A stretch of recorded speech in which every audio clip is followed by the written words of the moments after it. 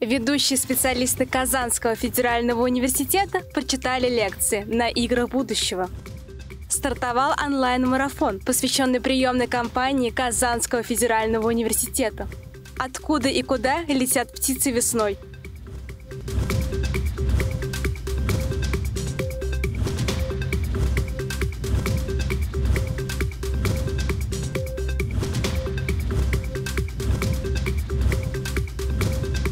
Всем привет! В эфире «Универ новости», а в студии Лилия Мухамединова.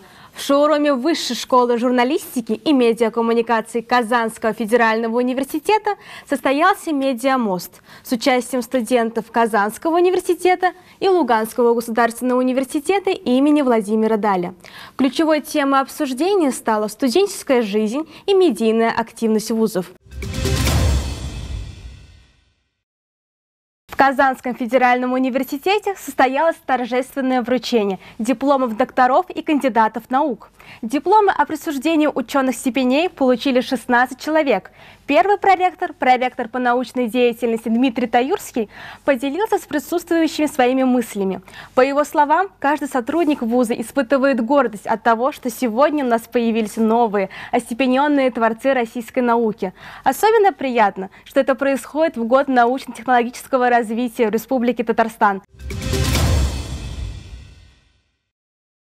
На одной из тематических зон «Игр будущего» спикеры Казанского федерального университета уже второй день рассказывают о последних изобретениях, исследованиях и разработках в сферах психологии, IT и нутрициологии. Сейчас раскроем и покажем, о чем успели рассказать директора ведущих инновационных институтов КФУ.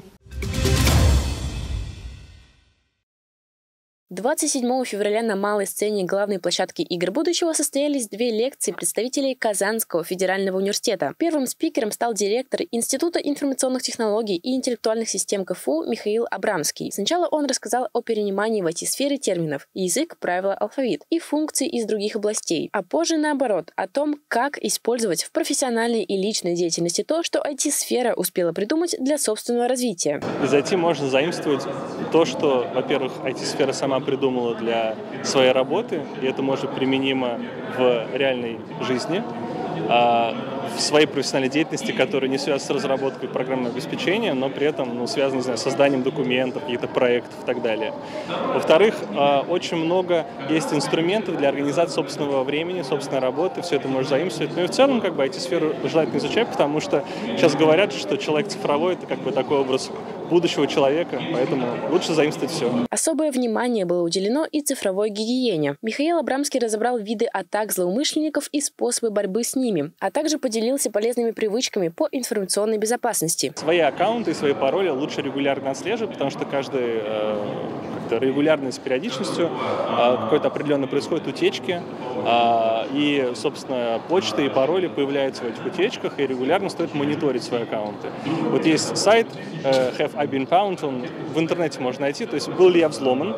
И, э, собственно говоря, если там ваша почта фигурирует, то ну, пароли, связанные с этой почтой, надо вообще поменять абсолютно все. Вторым спикером стал директор Института искусственного интеллекта, робототехники и системной инженерии Дмитрий Чекрин. Тема его доклада «Искусственный интеллект и машинное искусство». Лекция началась с рассказа о зарождении машинного творчества и внедрении его в нашу повседневную жизнь. Совместно со зрителями спикер разобрал принципы работы известных инструментов, их применение в разных областях жизни, преимущества и новые разработки, которые в дальнейшем могут принести как пользу, так и некий вред. Также особое внимание было уделено теме эмоциональности искусственного интеллекта и даже возможности некой шизофрении. Шизофрения машин, я небольшой специалист в области психологии.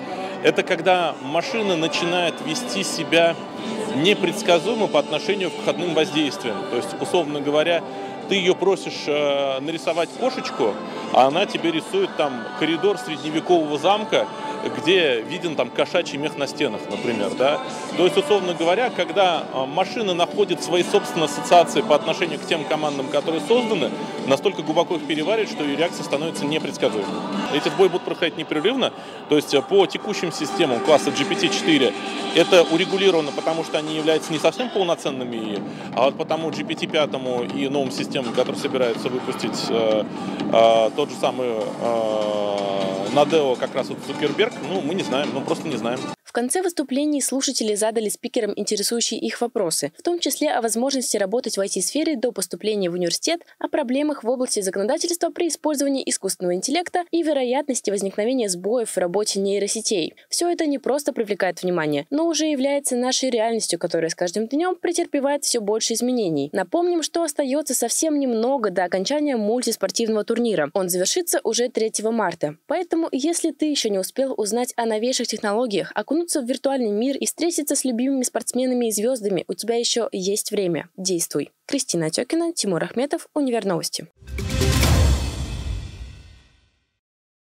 Сегодня, 27 февраля, стартовал долгожданный онлайн-марафон, посвященный приемной кампании Казанского федерального университета.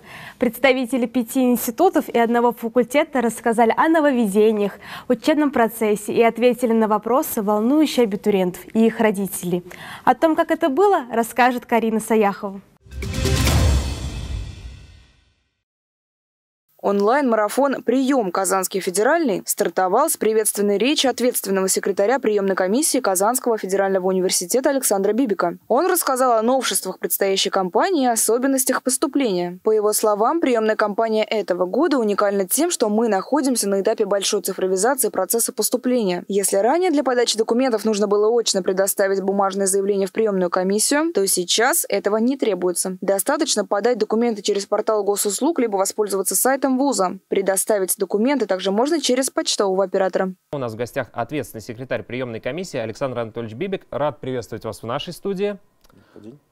Ну и, наверное, сразу передадим так э, вам слово с места в карьер, что называется. Давайте, вам выпадает честь сказать те самые важные слова тем, кто совсем скоро а, пополнит ряды студентов Казанского федерального университета. Хотелось бы а, обсудить многие вопросы, которые а, и в том числе будут сегодня заданы в нашей группе ВКонтакте. То есть сегодня день такой вводный, потом мы, наверное, соберем вопросы, и завтра уже будем подробно отвечать и освещать какие-то темы, аспекты, которые будут интересны абитуриентам. Основная дата а, при, начало приемной кампании, которая должна быть в голове у каждого абитуриента, это 20 июня. Все приемные кампании, в том числе и, приемная кампания Казанского федерального университета, а, стартуют, и все университеты распахивают свои двери для абитуриентов. В первый день марафона были приглашены представители пяти институтов и одного факультета. Первым стал Институт фундаментальной медицины и биологии. Заместитель директора по международной деятельности Альбина Валеева и заместитель директора по воспитательной и социальной работе Екатерина Челимова ответили на традиционные, но волнующие абитуриентов и их родителей вопросы. Количество бюджетных мест, территориальное расположение института и порядок поступления. По словам специалистов, в этом году иностранные абитуриенты, подавшие заявление на медицинские направления, не смогут сдавать вступительные экзамены в онлайн-формате, как это было раньше. Сдача экзаменов для них пройдет в установленные дни в стенах КФУ. При этом в высшую школу биологии есть возможность пройти вступительные испытания дистанционно. Вступительное слово вам, собственно говоря, расскажите, что из себя представляет Институт фундаментальной медицины и биологии в 2024 году, какие основные есть образовательные программы, ну и почему абитуриентам стоит задуматься о выборе именно вашего подразделения. Слово вам. Здравствуйте, уважаемые абитуриенты, родители. Сегодня мы впервые такой встрече в течение целого часа. А, а, наш Институт фундаментальной медицины и биологии состоит из двух высших школ. Это Высшая школа биологии и Высшая школа медицины. А, является одним из крупных институтов Казанского федерального университета и где-то более 4 тысяч обучающихся. Высшая школа биологии реализует программы магистратуры и бакалавриата по биологии, педобразования – Высшая школа медицины реализует программы специалитета. Это лечебное дело, медицинская биохимия, медицинская биофизика, медицинская кибернетика, доучивается фармация и стоматология. А также есть и магистрская программа «Общественное здоровье и здравоохранение». Кроме Института фундаментальной медицины и биологии, сегодня с абитуриентами встретились представители Елабужского института, юридического факультета, химического института имени Бутлерова, Института математики и механики имени Лобачевского и Института управления экономики и финансов. Сегодня был, я смотрел в онлайне часть э, с представителями институтов, очень э, продуктивный день. Э, коллеги рассказывали очень корректную информацию, предоставляли о институтах. Э, даже захотелось в какие-то моменты поступить заново. Есть нюансы по поступлению. Конечно, о них, наверное, мы более широко и более глобально разберем вопрос в последний день.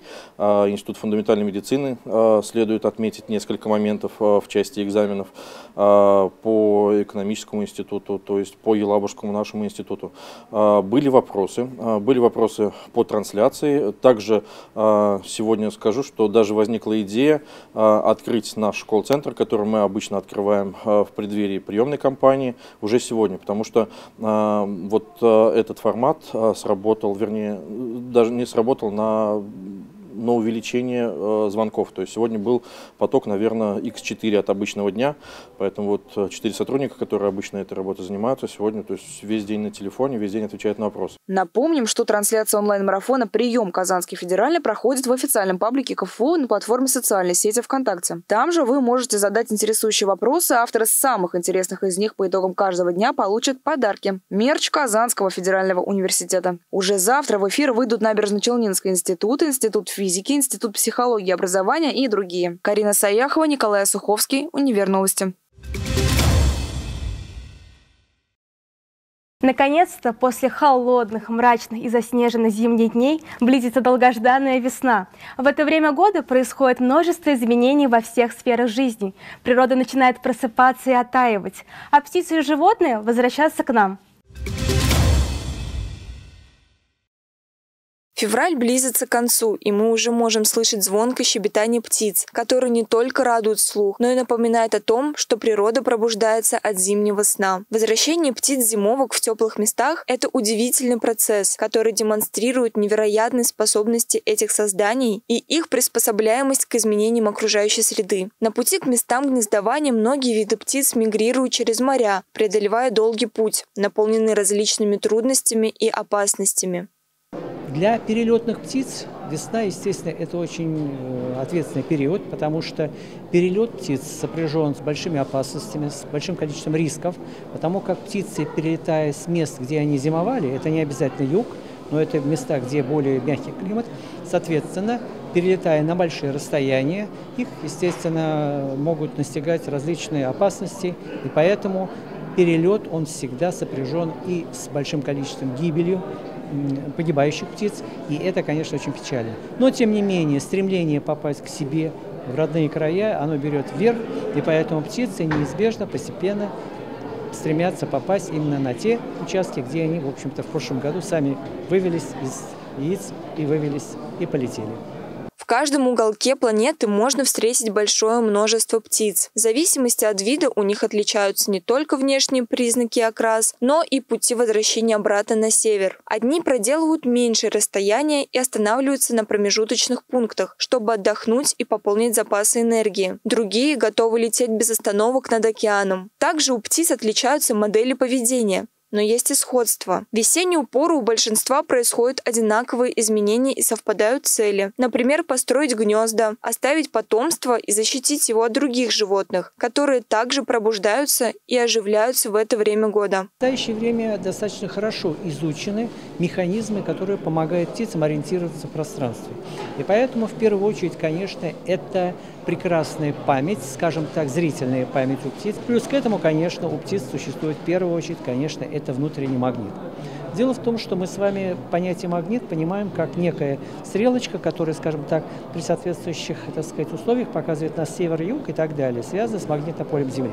Вот примерно то же самое есть и у птиц, но этот механизм заложен в виде очень тонкого, скажем так, воспринимающего органа внутри э, мозга у птиц.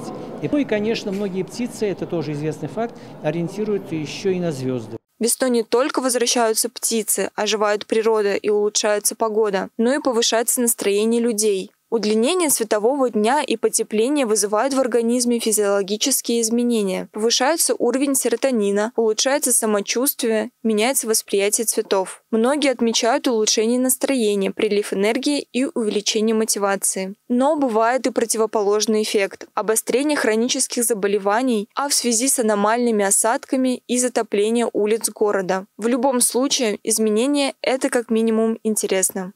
Резида Каримова, Александр Антонов, Универ Новости. На этом все. В студии была Лилия Мухамединова. Сюжеты из выпуска ты сможешь найти в наших социальных сетях, а также на сайте телеканала. До новых встреч!